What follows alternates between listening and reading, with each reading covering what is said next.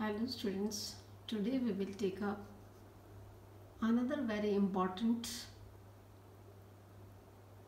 topic that is pronoun. Pronoun is used instead of noun.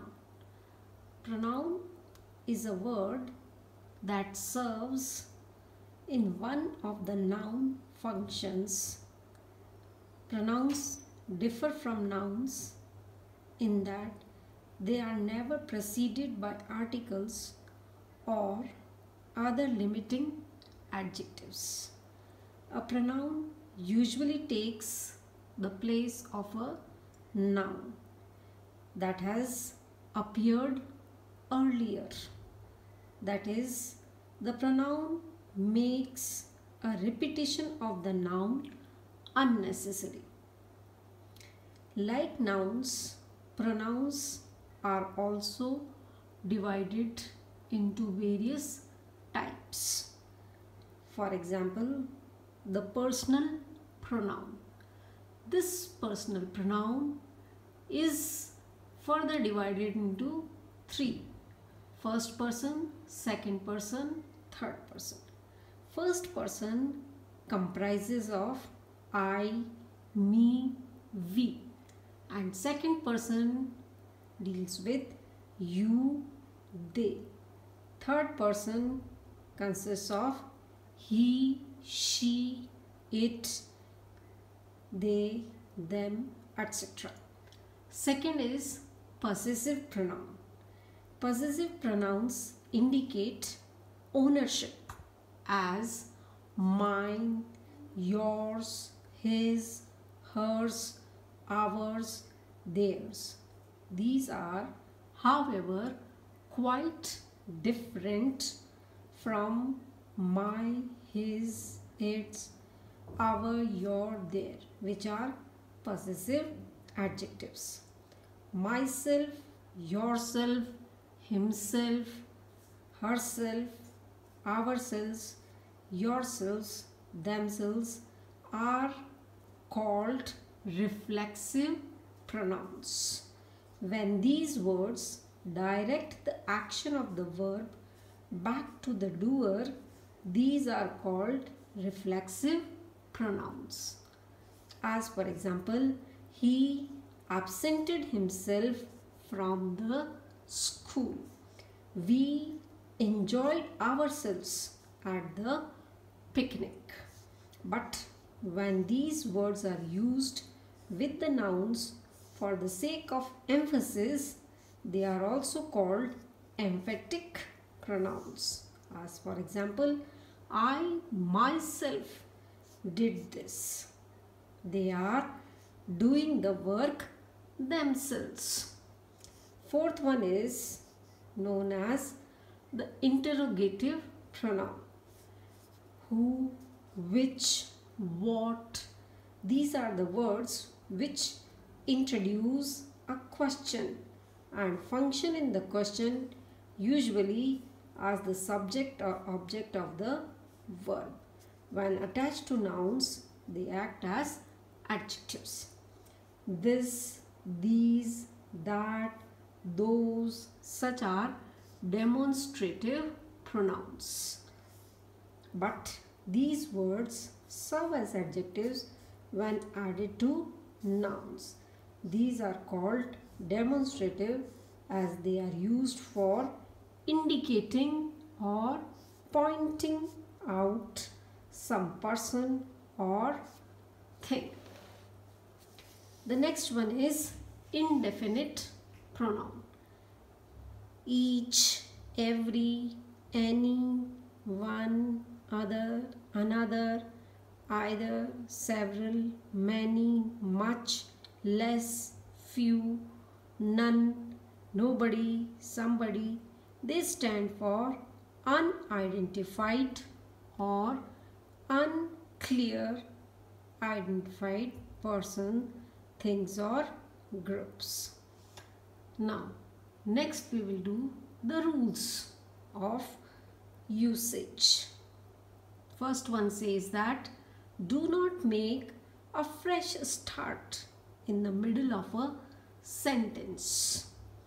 by introducing a pronoun which is in the same structural relation as the noun for which it stands. As for example, the boy who stood first, he is my brother.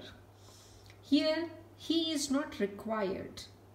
So, it can be removed for it simply means inserting another subject for the verb is when one subject boy is already there. The boy who stood first is my brother. So this is the correct answer. A reflexive pronoun should not be made the subject of a sentence. As for example, Ram and myself are studying in the same class. So you will see that there is no necessity of putting myself. Ram and I are studying in the same class. This is the right usage. Indefinite pronouns like each, every, one, either, neither, somebody, nobody, anybody, anyone should always be treated as singular and be followed by verbs in the singular.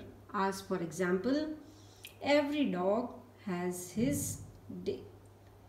Everybody likes him. Next point says that the indefinite pronoun one is followed by one. One must do his duty. This is wrong. The right is one must do one's duty.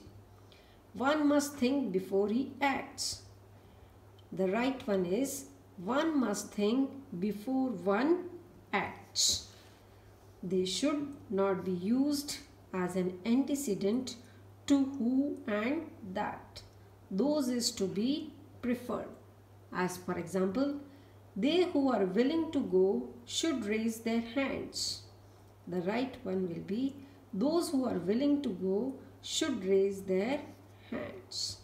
When the antecedent is such, the consequent should be as. And when the antecedent is same, the consequent should be as or that. This is the same book which I want. Instead of which, that can be used. This is the book that I want. Nobody likes such men who are dishonest. So there is no need to put who. Nobody likes such men who are dishonest. Instead of this, we can write nobody likes such men as are dishonest. When pronouns are governed by preposition, they are in the objective case there is a world of difference between you and I. This is wrong. The right one will be there is a world of difference between you and me. Pronouns following the verb to be are also in the objective case. The wrong example is it is him that has broken the window pane. Instead of him, we can write, it is he that has broken the window pane. The relative pronouns who, which, that must agree in number and person.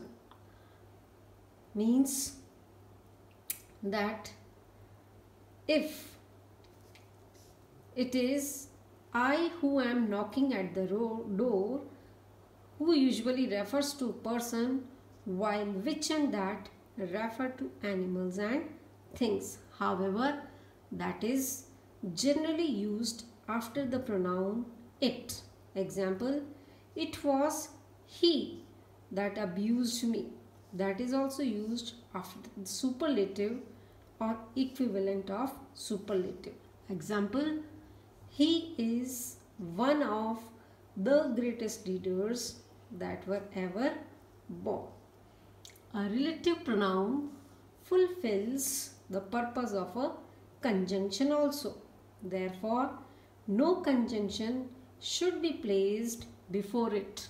As for example, he offered me a drink and which I refused. We can remove and because and is not required. He offered me a drink which I refused. A relative pronoun may be omitted when it stands in the objective relation. As for example, the boy whom you met yesterday is my cousin. Whom may be omitted because it is here object of the verb met. The boy you met yesterday is my cousin.